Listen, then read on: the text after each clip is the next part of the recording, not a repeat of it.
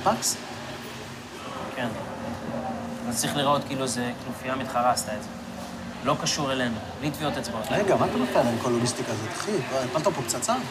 קצת יותר בכיוון של רובי צלפים, אבל... אה, תגיד מה אתה עושה פה בכלל? אתה לא מבין בדרך הוא לוויסקונסין? מחזיק אותי בביצים. הוא מאיים להפיל על הראש של מאיה את הרצח של החוקר הפרטי. אם אני לא נשאר. אז תישאר. לא, בשביל זה להוריד בן אדם, כל כך נורא לך פה. אני לא רוצה להישאר פה, נדב. אה, הבנתי. לא קשור אליך, נו, אני אוהב אותך, אני אוהב אתכם, אבל אני לא יכול להישאר פה. אני רוצה לחיות עם מאיה חיים נורמליים. והוא לא ייתן לי בחיים.